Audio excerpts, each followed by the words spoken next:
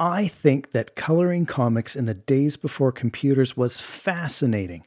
I have so many questions about it, and today I'm going to ask them and get some answers, especially some of the insights that Tom Luth passed along to me. Yeah, that's right, Tom Luth was kind enough to answer some of my questions about comic color guides.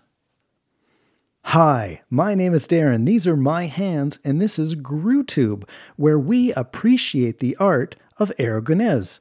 Except for today. Today, we don't appreciate Sergio's art. Today, we appreciate Tom Luth and the other people who have colored Groo over the past 40 years. And we'll probably appreciate Sergio too. Who am I kidding? So, we've been reading Groo the Wanderer comics in color since the very beginning, but how much have you thought about how we get these comics in color? When we think of the artwork in a Groo comic, we give the credit to Sergio, and so we should. He's the master cartoonist. But his pages are so much more wonderful because of the color that Tom Luth so expertly adds to the page. In this video, I have several of Tom's color guides that I want to look at to see how the art that Tom creates makes it onto the printed page. And specifically, I'm going to look at the pre-digital era of Groo the Wanderer comics. I think that means up to epic number 101. I think epic number 102 might be the first digitally colored Groo, but we'll get to that later. But before we look at the guides, I want to talk about how comics were colored back in the days before computers. If you're interested in this subject, check out Marvel Age number 13 and Mark Lehrer's insightful article, How to Color Comics the Marvel Way. Mark explains the printing process that uses only four colors of ink cyan, magenta, yellow, and black to print full color comics. Mark writes how mixing various combinations and amounts of ink through the use of screens, which produce those little dot patterns you see in comics, gives colorists 64 colors, plus one more for black, to color the page. It's a really sharp article for those like me who are curious about the old ways of comic creation.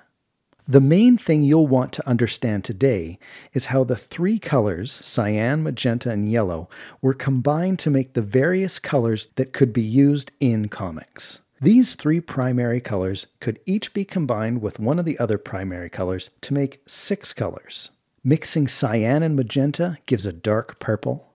Mixing cyan and yellow gives a bluish green. And mixing yellow and magenta makes a bright red that leans towards pink. And by varying the amount of colors that were mixed together, perhaps only a little bit of yellow with a lot of red, or half strength blue with full strength yellow, all these different combinations would get you the 64 different colors. Now, Marvel had their own terms for the four color process.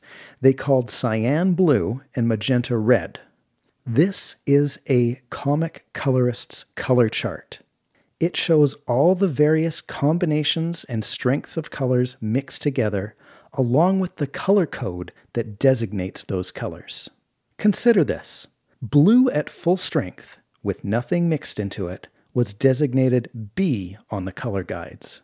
Blue at half strength, a 50% screen of dots, was B3, and a quarter strength blue with a 25% screen of dots was labeled B2. The same went for red and yellow. Full strength or 100% red was R, 50% red, R3, 25% R2. Full yellow, Y, half yellow, Y3, and quarter yellow, Y2. So far, so good. Let's start mixing things. Blue and red, both at full strength, was designated by BR. Makes sense yellow and red at full strength together, YR, and yellow and blue together at 100% was designated YB. Mixing various strengths of various colors got you those crazy codes like YRB2. That was Mulch's Ready Brown Fur, full yellow, full red, 25% blue. Looking for the skin tone of a white person?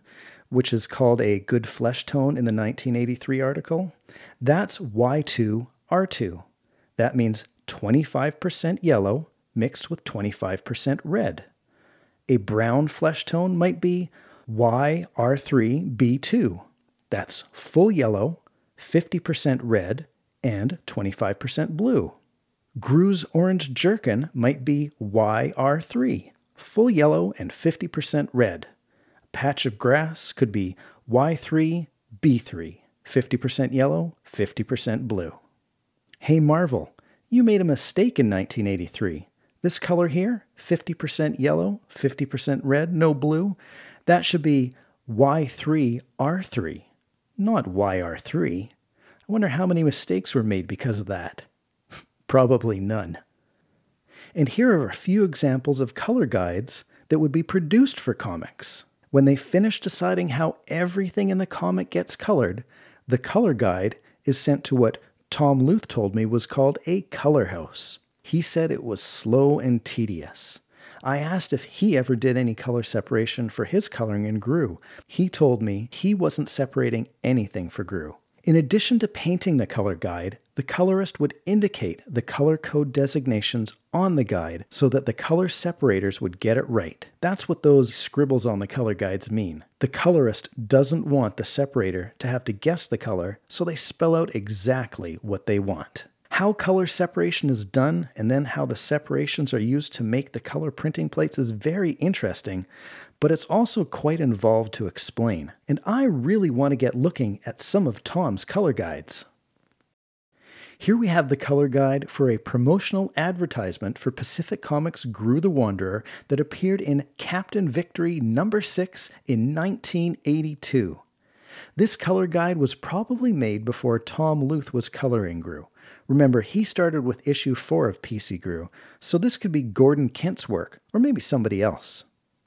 Groo's jerkin is YR3, his Walkman B3, 50% cyan. I can't see where any of Groo or the other people's skin color is noted. Now check out the Coming Soon title, where the dark green Y3B and the light green YB2 are used. The separator would be responsible for getting that right and getting it in just the right place. Same with the gradient in the GROO title block, going from full yellow through Y3 and Y2 and then to white. Or the dinosaur's purple skin, R3B3, and its white belly. As a colorist, your careful work is in the hands of the separators. Next, I'm going to pull out Epic Groo number 3 and turned to page 17. Here we have Tom's color guide, and oh, what a lot of color we have going on. Groo's jerkin is still YR3. I guess that was the most orangey orange you could get with the combination of inks allowed. And how about the light brown of this teddy bear that this young Hetita, or is he a Melanita child, is holding? I might not think that's a good color when I look at the Marvel color guide, but a skilled and experienced colorist like Tom Luth knows that's the right choice. And compare it to the darker brown cloak that this Melatita man is wearing. The color guide itself shows the colors very richly in a way that the paper and printing methods of the day couldn't replicate completely. So Tom makes good choices here. And see this piggy's tongue? Tom wanted it to be YR red, full red and full yellow, but the color separator didn't think anyone would notice if they left it out. Well, we noticed. Now we're going to look at a Lil Groo one page comic in Epic number 96. Let's start with Groo's Jerkin again. It's still YR3 even when he was Lil. And how about this little girl with the light pink dress? It's very close to her skin color, but it's not precisely the same color. Tom has indicated R2, or 25% red. Now you can't get any less red than that. And if you don't want light pink exactly for a character's skin, well, you throw in the smallest bit of yellow. And notice the sheets on the clothesline here. This dark pink is R4. Now, we haven't seen that code before, but I presume that if R2 is 25% red and R3 is 50% red, Tom probably means that R4 is full 100% red, or magenta really. So that's why it's a dark pink, whereas this sheet with the yellow accent is YR, full yellow mixed with full red to give the comic a deep, dark red. And on Granny Groo's dress, Tom has indicated two blues, a light blue, B2, and a medium blue, B3, to show some shadow across Granny's back. The separator has rendered this color change not as a gradient, but a crisp line, and we'll see on the cover of this comic how Tom has indicated when he wanted a gradient. So, over to that cover. Take a look at the dark purple sky at the top of the cover. That's RB3. Then notice how Tom draws a downward arrow and the code R3B2. That's how Tom indicates that he wanted the sky to be a gradient from the dark purple at the top to the lighter purple down at the cloud. And let's appreciate that Tom didn't just drop the blue or drop the red a notch, but by dropping both the red and the blue in value, he doesn't change the color of the sky as much as he changes the saturation of that purple. So the sky doesn't get any redder or bluer, the hue of the purple stays the same, but it becomes more washed out as it approaches the clouds. And the clouds. Tom indicates a gradient from Y2 to Y3 with the arrow pointing right. Such nice work. And look at Groo's jerkin. We've got to check that color code, but where is it? I guess if you're separating the color on the cover of a Groo comic in 1992, you know that Groo's jerkin is YR3. See how Tom paints Groo's jerkin darker on his belly and lighter on his back? Now, look at the printed cover. The color separator has noticed that too and lightened it up to show the highlight. No one gets credit for that, but whoever you are who cut the color for this comic, we notice and we appreciate it. I could go on about the shadow of Groo in Diothos's hand and the shadows and gradients on the horns of his helmet. We could talk for ages about the minstrel, the sage, and Rufferto in the corner box, but we'd be here all day, so let's look inside. Notice the details of the color in the title. We've got a couple different oranges going on there. And we finally get to see what Rufferto's color code is. Tom notes at the bottom of the page with an arrow connecting to Rufferto Y3R2 and Y3R2B3. And of course, he's got a white little tummy. So Y3R2 is Rufferto's base color, 50% yellow, 25% red, and we can see more of that color on the shirt of the guy running away to the right. It's not as deep of an orange as Groo's jerkin, nor is it as saturated as the color of the shirt of the fellow being carried away on the left of the panel. It's fairly pale and somewhat muted. Interesting that the second color is used on the top of Rufferto's back, under his spots. It's also Y3R2, but just the smallest bit of blue with a 25% screen is added to darken his fur. We can take a quick look at Rufferto on page 5 of the comic to see Tom specifying the same two color codes.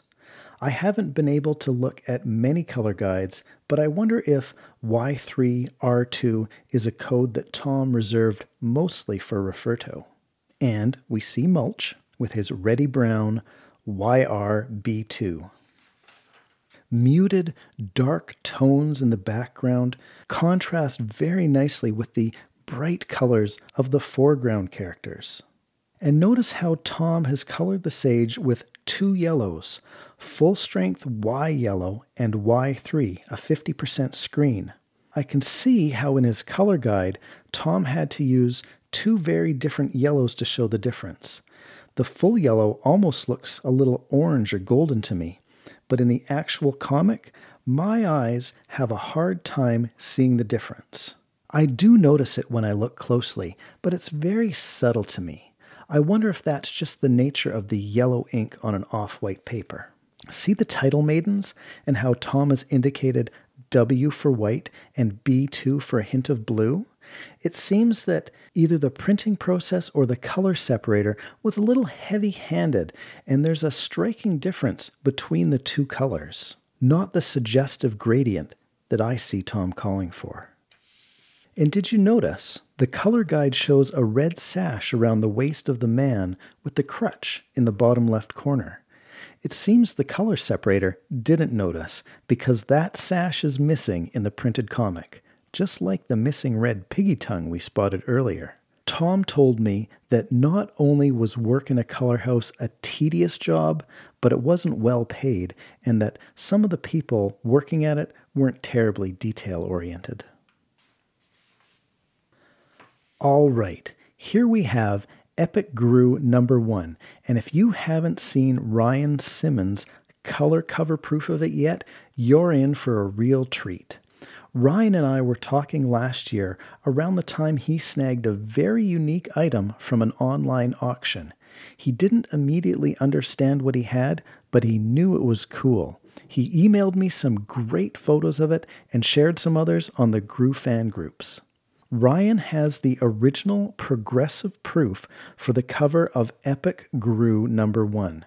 It's a proof that the printer would make for Marvel so they could okay the art on the cover. That was something that was too expensive to do for the interiors of the comic, so they'd only do it for the cover. And I guess most of the time, once it was approved, it would be thrown away. So it's incredible that Ryan was able to get his hands on this one you can see how the color would be separated from the color guide into its cyan, yellow, magenta, and black components. If you look really closely, you can see the dot patterns that allow for more or less of the color ink to be printed. Reading from Mark Lehrer's Coloring Comics the Marvel Way Again, we learn that even though covers use the same principles as coloring the insides, because the cover is the most critical picture in attracting the reader's attention, the color separation process used for covers allows a full range of colors, including graduated background tones. That's why we see much more blending of color shadows and highlights on Groo's muscular arms, his sausage fingers, and his gourd nose. See how the three color proofs and the black or the key layer all merge together to create a wonderful full color cover. And this is how it works for each page in a Groo comic from this era. Just four colors of ink cyan, magenta, yellow, and black. Thank you very much, Ryan, for sharing this wonderful artifact from the color world of Groo with us. I'd like to look at one more piece of art before we finish up this video. Here's the cover for Pacific Comics Groo number one, a seminal piece of work and unique with that menacing shadow that cast across Groo. The background has a gradient, probably from a full yellow at the top to a Y2 at the bottom, but in the middle of it, there's this ominous purple shadow. Take a look at Sergio's artwork for the cover. You'll notice that the title block is a photocopy pasted on the cover so Sergio doesn't have to redraw it each month. You'll also notice blue lines showing where the shadow is to fall on the artwork. Because Sergio didn't want the shadow to be outlined in black, he used a blue pencil which would not appear when copied, nor when the black key plate was made. But Gordon Kent, the original colorist of the first few Groo the Wanderer comics, could use it to create the color guide with the shadows falling exactly where Sergio wanted them. In addition to blue lines making the shadow behind Groo, Sergio indicated where the shadow would fall across Groo so that Gordon could color Groo with darker skin and a darker jerkin in the appropriate places. Artists and colorists working close together to create an iconic Groo cover. I mentioned earlier that I have a suspicion that Epic Groo number 102 might be the first Groo that Tom colored digitally. When I look at some of the colors inside, I don't notice any of the natural transitions that seem to appear between colors when they're done by a person. They look exact, and the colors appear almost flat to me. And where there's shades and gradients, they're so narrow and abrupt, almost as though someone was getting used to the brush tool in Photoshop. But you know what? I was wrong. I asked Tom about it, and he told me that while he made the switch to Photoshop in 1992, which is around the same time that issue 96 came out here, Marvel was the last to get on board with digital coloring. They wanted Tom to paint all of his guides on paper for the entire Epic run, the only exception they made was for the cover of Epic 111, The Man Who Killed Groo. So I'm glad to learn that 102 wasn't an early digital Groo where Tom was learning the tools. I'll just chalk up what I see as unnatural color to a poor color separation job. If you couldn't tell before, I'm sure you know by now. I think that color and the colorists who create the color guides for our favorite comics are incredibly important to creating amazing artwork. It's not my intention to detract from Sergio in any way, but I really want to celebrate and elevate the contributions of Tom Luth and Gordon Kent, Janice Cohen, Deborah Lay, Phil DeWalt, and the others who have sometimes filled in for Tom. But mostly, thank you, Tom Luth, for your dedication to coloring our favorite Wanderer. Your art is extraordinary. If you like this look at Groo the Wanderer color guides, click on the thumbs up button and please subscribe to the channel. I want you to be first to know when I'm back with another GrooTube video. Take care, everybody.